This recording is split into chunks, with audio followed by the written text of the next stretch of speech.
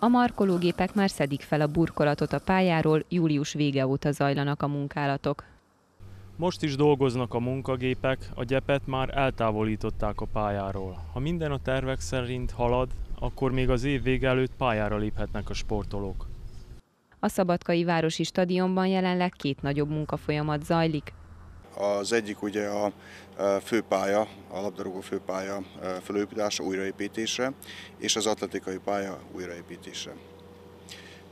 Amit a fő, főpályát illeti, itten egészen új, tehát fű lesz rakva, azután egészen új locsolórendszer és új vízelvonórendszer. Új kaput, kapukat is kapta a pálya, és ezen kívül új kijelzőtábla is lesz.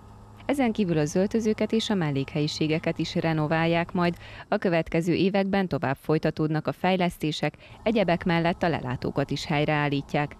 Egyébként a stadion közvállalathoz tartozó többi objektumnál is folyamatosak a felújítások, és a jövőben is lesznek úgy a műkorcsolya pályánál, mint a sétaerdei medencénél.